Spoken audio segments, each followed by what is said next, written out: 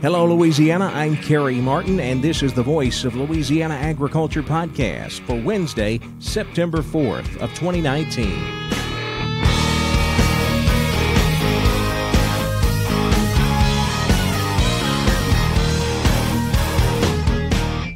Welcome to the Voice of Louisiana Agriculture podcast, a look at the latest news in Louisiana agriculture. Now, here's the host of the Voice of Louisiana Agriculture podcast, Kerry Martin. Election Day is just around the corner in Louisiana, so we continue our series of interviews with the three major candidates for governor. Last week we had Governor John Bel Edwards. Today we have Congressman Ralph Abraham. That interview is coming up later in the podcast. But first, here's a look at news headlines. During a White House press event, President Donald Trump told reporters that income from tariffs on China will help farmers recover from Hurricane Dorian. The president was updating the press on federal preparations as the hurricane moves along the East Coast. President Trump says he'll use money from tariffs on China to help farmers if they're hit. You will have probably some hit on farms up along the coast, and we're going to be able to go in with Secretary of Agriculture. Uh, we have a lot of money because of the tariffs we've taken in. We've taken in tremendous, many billions of dollars of tariffs from China, and we will have a lot of money to be helping our farmers along the coast if they get hit. They may not get hit. There's a real chance that this could veer out the other way, but there's also a chance that it goes straight or it goes left. If it goes left, that's an even different subject, but our farmers will be helped. Trump says he's using money from the tariffs to help farmers in every way he can. Last year, I gave the farmers $16 billion out of tariffs. The year before that, because they were targeted by China. The year before that, I gave our farmers $12 billion. And the way we figured that, I said, How badly have our farmers been hit by targeting from China? And I was told they were hit to the tune of $16 billion and I made up that 16 dollar for dollar to the farmers. The North Carolina Agriculture Department says Hurricane Dorian creates an imminent threat of severe economic loss of livestock, poultry, and crops ready to be harvested. Corn harvest is wrapping up in Louisiana. The latest Louisiana Crop Progress and Condition report shows that corn harvest is now 84% done. Both farmers and elevators have been working overtime to get this year's crop out of the field. Romeo Stalling is a merchandiser with Consolidated Grain and Barge. Corn harvest has been steady. Uh, most of our peak season's been coming around August, mid-August. Uh, kind of trying to slow down, kind of put a bow on, on corn harvest as of right now. We're trying to dump them as fast as we can, get get those trucks turned around, uh, and get them back to the field. That way they can steadily do it what they do best and you know harvest their crop. Rice harvest is wrapping up as well. The report shows rice harvest now 75% complete. Soybean harvest is picking up steam, although it continues to be behind the average pace. Soybean harvest now 16% done. The average pace is 28%. As we mentioned here on the podcast yesterday, sugarcane planting continues to run behind because of constant rain showers in South Louisiana. Cane planting now 29% done. The five year average pace is 48%. And we're getting sweet potato harvest underway here in Louisiana. 7% of the sweet potatoes now out of the field. As far as crop condition ratings are concerned, here's how a few of the crops shape up. Soybean conditions 7% excellent, 55% good, 29% fair, and 9% poor to very poor. Sugarcane condition ratings 14% excellent, 50% good, 30% fair, and 6% poor to very poor. Cotton conditions 9% excellent, 63% good, 23% fair, and 5% poor to very poor. Research is continuing here in Louisiana to combat our number one soybean pest. Don Molino has more. Dr. Jeff Davis, LSU Extension Service entomologist, is conducting research funded by the Louisiana Soybean Grain Research and Promotion Board on the best way to control the red banded stink bug. We're looking at new and current insecticides. There's several products coming out on the market, hopefully in the next couple years, that do a very good job of controlling red banded stink bug. With the insecticides that we have, what, how can we improve seed quality? Uh, seed quality is always an issue, especially this time of year when we're ready to harvest. What can we do to stop stink bug feeding to improve seed quality? And we found out some of the neonicotinoid insecticides actually do a pretty good job of reducing feeding. They may not kill the red-banded stink bug as well as, say, acephate, but they do a good job of preventing or at least slowing down feeding. And so we can actually improve seed quality by using those insecticides as we uh, kill off those red-banded stink bugs. We're looking at different uh, stink bug controls, uh, putting them out at, say, R3 when we know the red-banded stink bug from our previous work actually has the most females out there. With the most female populations out there at that point, usually in the R3 beans, we see the most egg lay, and that we want to be able to control those populations early so we don't have to put out as much insecticide later. Now, this year we tested that at several locations, and we've been able to hold off spraying instead of three applications for red-banded stink bug, we've been able to cut it down for, uh, to two and in one location one. So we can really reduce those by trying to spray and catch those insects just as they're mating and just as they're ovipositing on those soybeans. I'm Don Molino on the Voice of Louisiana Agriculture podcast. Now let's look at the markets on the Voice of Louisiana Agriculture podcast. The corn market continues to fall apart, but we did see a higher close today in both soybeans and wheat. That's according to Jack Scoville with the Price Futures Group in Chicago. Yeah, they really did, and there didn't seem to be any obvious news. Um, there's been some trouble getting some of the USDA uh, reports out. Uh, for example, the um, uh, daily export sales announcements, which were friendly actually for, for soybeans. We sold Mexico for uh, 450,000 tons, and that was, uh, of course, bullish for the market, but uh, market didn't react right away, and it could be that it took a while to get that news spread around. But the dollar's been weaker all day, and I think that's had a lot to do with it. And let's face it, you know, uh, while the beans haven't been uh, quite as beat up as the grains have, but both corn and corn and especially wheat have uh, been getting pretty overextended to the downside, and I think we're seeing some short covering. Um, as we start to see some of these private estimates come out and as we start to uh, focus our attention on the reports next week. September soybeans up 6 cents, closing at 862 and a half. November beans up 7, closing at 875 and a half. But as we mentioned, the corn market just cannot find any footing. September corn down 3 and 3 quarters, 346 a bushel. December corn down two and a half, 358 and a half. September wheat was up nine cents, four fifty six and a quarter. The rough rice market has seen nice strength here over the last week or two. It finished slightly higher today. Mark Tall is a rice marketing specialist with the Louisiana Farm Bureau Marketing Association's rice office in Crowley. Well, the futures market is hugging the 1197 per hundred area on November futures, especially over the last four trading days. We have continued to hug closer to the upper end of the Bollinger Band, which indicates a short-term slowdown in buying positive and fresh news would be welcome about this time in order to boost us to the next level. The next noticeable level would be targeted at 1252 per hundred, and this was actually hit on July 29th. Iraq is looking to purchase additional rice in the very near future, but really this is going to be a global tender and not a U.S. tender only.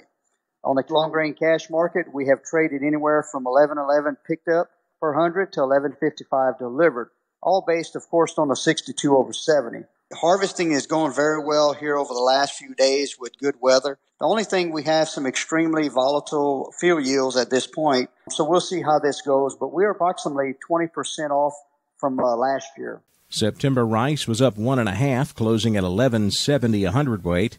November rice up a penny, 1198 and a half. Now with a look at the cotton market, here's Don Molino. Cotton futures slightly higher in the front months on Wednesday. Census trade data showed July cotton at 1.4 million bales, the largest monthly total since 2007, down 15% seasonally from June and 30.6% larger year over year. NASS reported Monday 36% of the U.S. crop had reached the bolls open stage, ahead of the 27% average maturity. At New York yesterday afternoon, new crop December cotton 58.17 up 31, March cotton 58.77 up 21. The spot market price 56.77 up 46. I'm Don Molino on the Voice of Louisiana Agriculture podcast. At the Kinder Livestock Auction, Kinder, Louisiana this week, two to three hundred pound steers brought a dollar ten to a dollar eighty five a pound. Three to four weight steers a dollar to a dollar sixty five. Four to five weight steers brought ninety cents to a dollar fifty a pound. Five to six weights brought eighty to a dollar thirty five, with six to seven hundred pound steers bringing seventy cents to a dollar twenty five a pound. Bred cows range from $350 to $1,150 a head. Pairs range from $450 to 1,200 a pair. On the futures market, live cattle were lower, October down 25, 99.02, but feeder cattle closed higher. September feeders up $1.40, 135.55. October feeders up $1.32. In just a few short weeks, we'll head to the poll to choose a governor for the next four years. And to help keep you informed, we continue our series of interviewing the three major candidates for governor. Last week we had Governor John Bel Edwards. This week we're interviewing Congressman Ralph Abraham, who is running for the office. We'll have that interview coming up next on the Voice of Louisiana Agriculture podcast.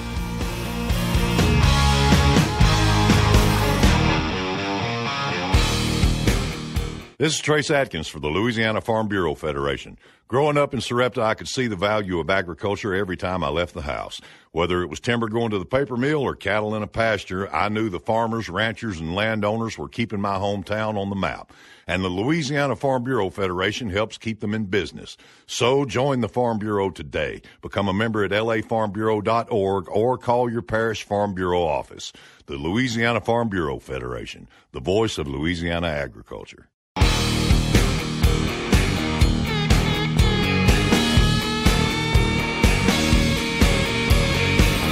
The Voice of Louisiana Agriculture podcast. We continue our series of interviewing the three major candidates for governor. Today, we talk to Congressman Ralph Abraham. Congressman, how are things going for you today out on the campaign trail? Always doing good. Thanks for having me. Well, Congressman, you and I have talked many times over the last few years, and normally when we interview, we talk about issues, things that are going on in Washington, D.C., but today I want this interview to take just a little different direction, if you will. I want our listeners to get to know Ralph Abraham, who you are, the role that agriculture has played in your life, and why they should vote for you for governor. So let's start with the first question. Uh, let's go back. Uh, tell me the background of Ralph Abraham, who you are, where you come from, and the role that agriculture and farming played in your upbringing. Oh, it's played a uh, a very influential and a daily uh, thing in my life, and it still does today. You know, as a young boy, grew up on a small farm. I had some cattle, uh, grew some crops, and as we uh, got a little older, uh, we were able to purchase uh, more properties. Uh, farm grew, family grew, and uh, you know we grew with it. So, you know, agriculture, whether it's uh, farming, ranching, uh, you name it. Uh, you know, I've had uh, my toe in the water and sometimes up waist deep in it all of my entire life. Uh, we still farm extensively where Diane and I live now. We we as I'm talking to you, uh, we're in the middle of a uh, farm that has got cotton on it this year. We tried to get some corn in, but uh, it was so wet we had to uh, put cotton in this year. You know, moving through the years, my early childhood, it was just wonderful being out in the uh, rural Louisiana, being out in the country, exploring, doing the things that uh, young boys do to get into trouble and to stay out of trouble.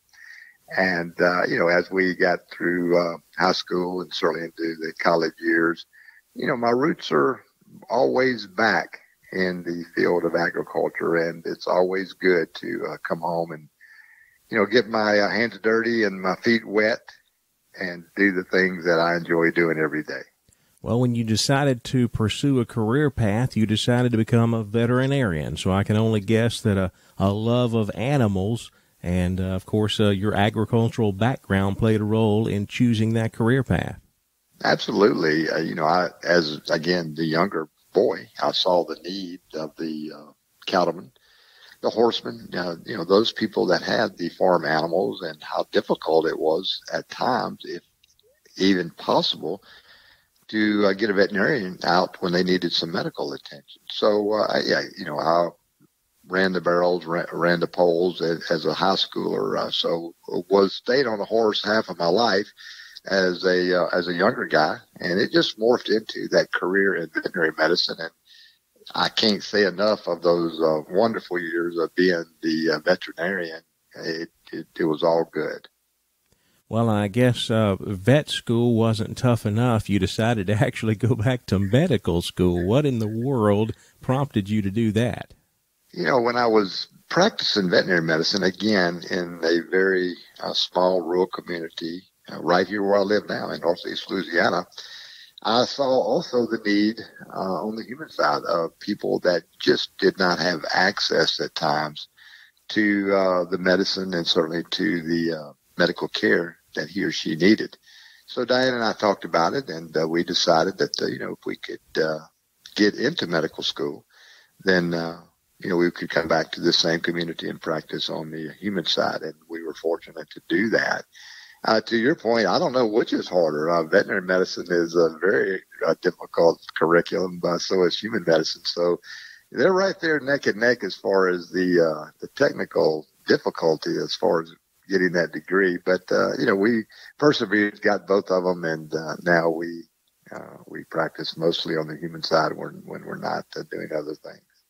Well, let's fast forward up to 2014. You made the decision to run for Congress in a very agricultural district.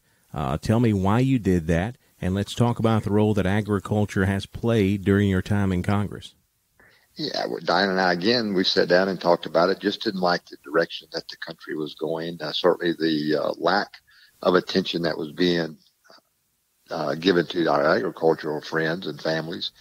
So we decided to make a run for the U.S. Congress. Again, fortunate to win that election. And once I got there, you know, my first priority was to ask and almost demand that I be put on the Committee of Agriculture. And fortunately, I was. I've been there ever since, still am there, and hopefully am promoting, uh, working, fighting for, uh, again, the people in our agricultural communities that are, as everybody listening to this program know, uh, work from can to cane, uh, try to make a dollar, try to hold on to a dollar. It's a tough life, but worth the reward if you can uh, if you can make it work.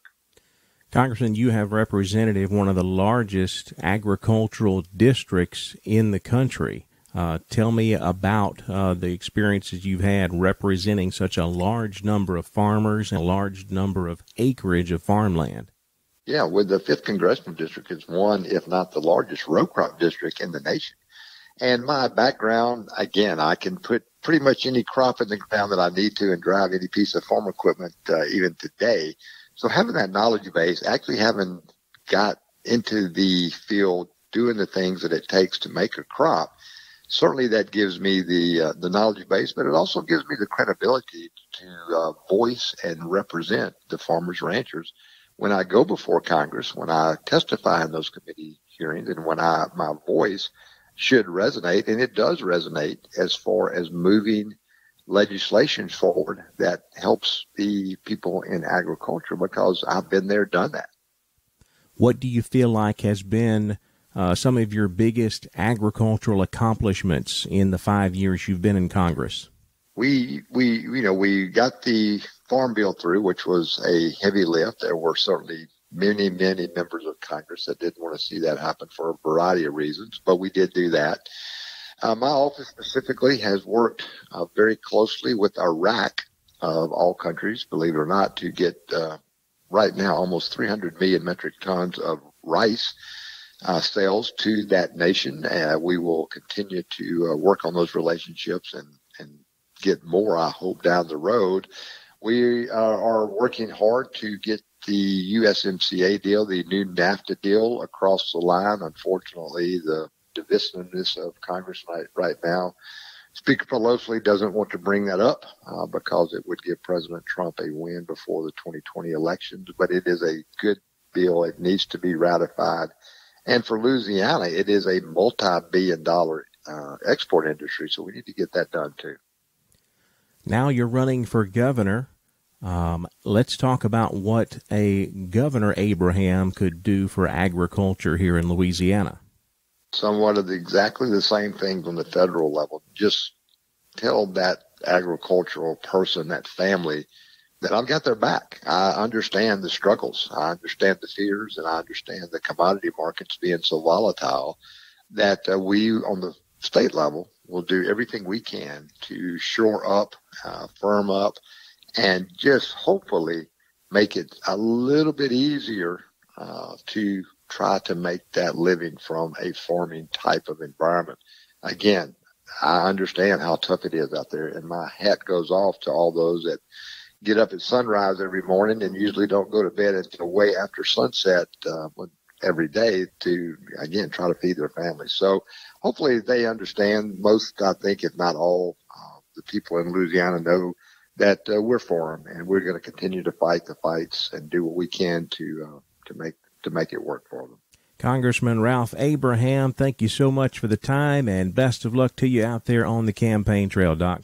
You guys have a great day, guys. Bye bye. Well, that's two down, one to go. We have reached out to the Eddie Rispone campaign on several occasions and in several different ways, and as of right now, I have gotten zero response, none whatsoever. So we'll keep trying and hopefully we'll be able to get Eddie Rispone on to ask him some of these same questions. That wraps up the podcast for today. We'll check back with you again tomorrow. In the meantime, be sure to connect with us on social media.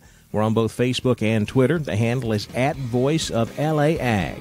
We'll see you tomorrow right here on the Voice of Louisiana Agriculture podcast. Thanks for listening to the Voice of Louisiana Agriculture podcast. This podcast is produced by Carrie Martin and the Louisiana Farm Bureau Federation. For more information, be sure to check out our website, voiceoflouisianaagriculture.org and lafarmbureau.org.